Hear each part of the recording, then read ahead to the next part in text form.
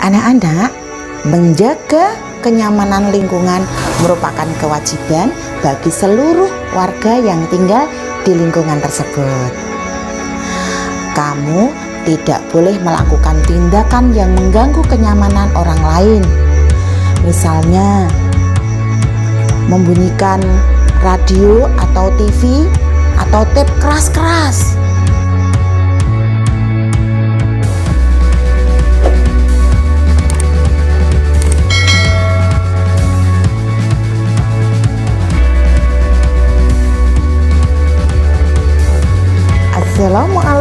warahmatullahi wabarakatuh. Halo halo. Anak Indonesia Apa kabarnya hari ini? Semoga tetap sehat dan tetap semangat. Meskipun kali ini masih belajar dari rumah.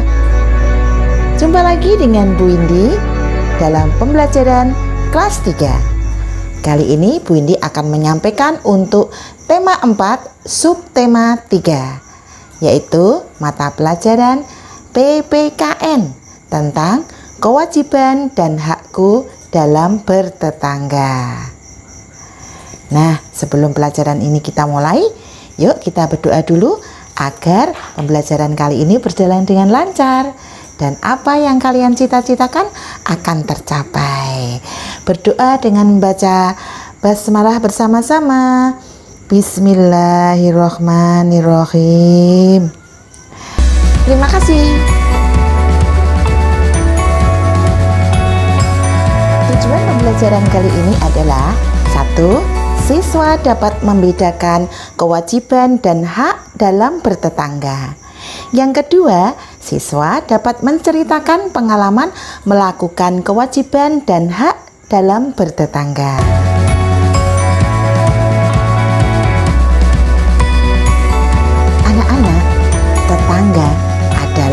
Saudara terdekat kita.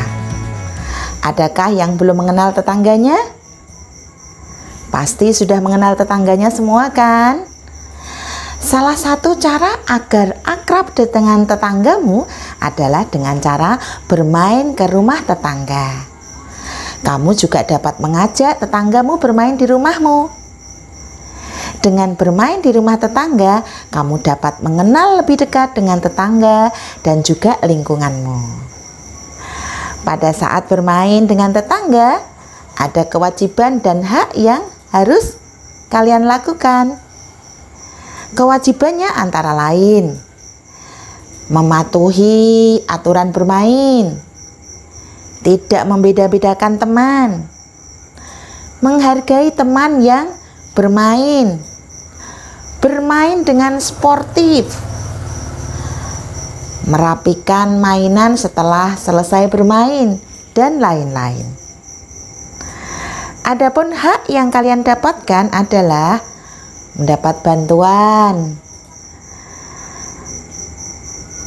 mendapat giliran bermain, merasa senang, mendapat pujian ketika memenangkan permainan. Hei, kamu hebat!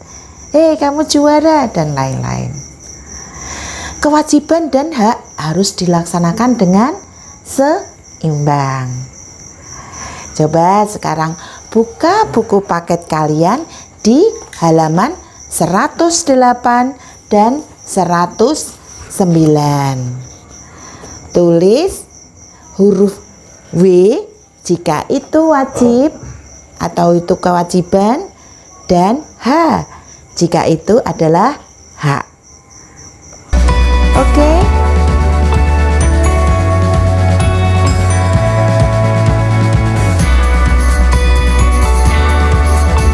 Nah, anak-anak, setiap orang mempunyai kewajiban dan hak di lingkungan masyarakat.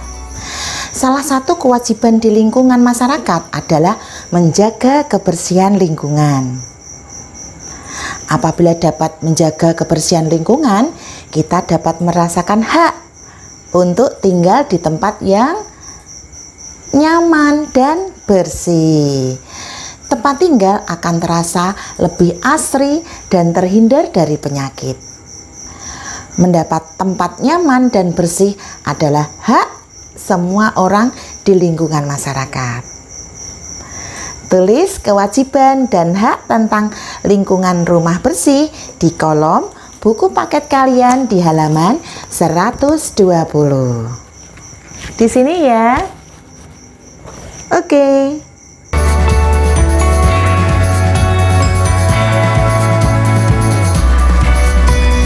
Anak-anak, menjaga kenyamanan lingkungan merupakan kewajiban bagi seluruh warga yang tinggal di lingkungan tersebut. Kamu tidak boleh melakukan tindakan yang mengganggu kenyamanan orang lain. Misalnya, membunyikan radio atau TV atau tape keras-keras. Membunyikan mercon naik motor atau sepeda yang kencang-kencang, dan lain-lain. Semua orang berhak hidup nyaman. Kamu harus menghargai dan menghormati hak orang lain, maka akan tercipta kerukunan. Jika kamu suka memelihara hewan, kamu harus memelihara dengan menjaganya. Jangan sampai merugikan orang lain. Misalnya, punya ayam atau bebek dibiarkan berkeliaran, membuang kotor kotoran di mana-mana. Nah, itu akan sangat mengganggu warga sekitar. Kewajibanmu jika memelihara hewan adalah satu, merawat dengan baik memberikan perlindungan dengan membuatkan kandang, memberi makan dan minum secara teratur, membersihkan kandangnya secara teratur, menjaga agar tidak mengganggu orang lain. Itu kewajibannya kalau kalian memelihara hewan. Oke? Okay? Nah, nanti di lingkunganmu akan terasa lebih nyaman. Nah, bagaimana? Sudah paham kan tentang kewajiban dan hak dalam bertetangga? Oke. Nah, sebelum pelajaran ini Bu Indi akhiri, Bu Indi selalu berpesan untuk melakukan Iya, 3M. Mencuci tangan, memakai masker, dan menjaga jarak, menghindari kerumunan, dan jangan lupa makan makanan yang sehat, olahraga teratur, dan istirahat yang cukup.